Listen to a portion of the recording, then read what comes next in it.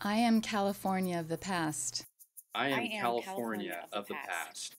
I am, I am California, California of the of the past.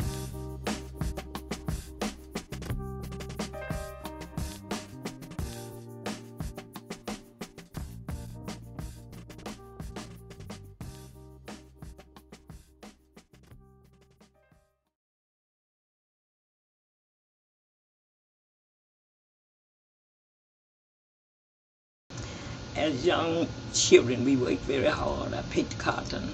I was pulling a cotton sack by the age of six. All my brothers and sisters worked too. I came to Los Angeles in 1944. My father and stepmother brought me back. I had my first job in Los Angeles. I worked for Dr. Humphrey. I left Los Angeles, California in 1946. I lived with a family for one year and worked as an aide. I came to San Francisco in 1946. I worked very hard as a young singer lady. I was off on Wednesday and Sundays. My pay was $100 a month.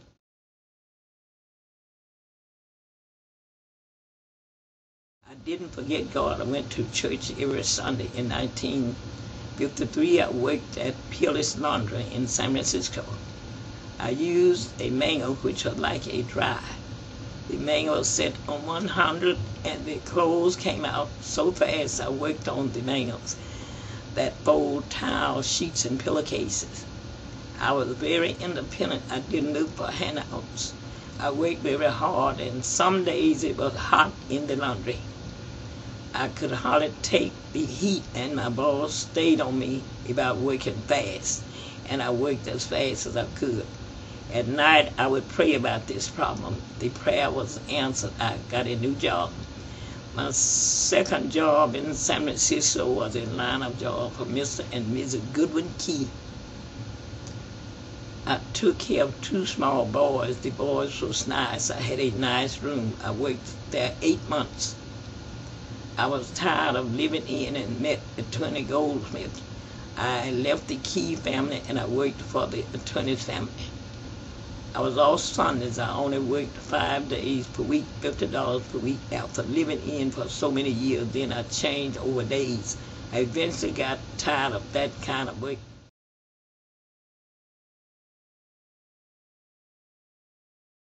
After I went back to work, I did laundry work again.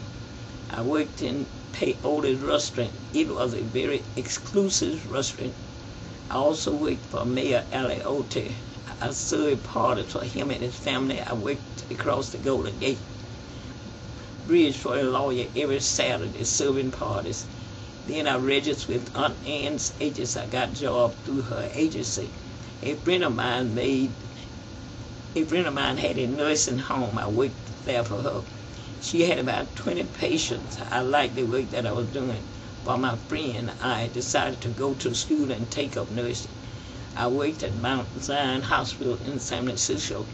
I did private duty nursing. I helped the nurses when a patient was asleep. They wanted me to work on staff with them. And this is my story from years ago.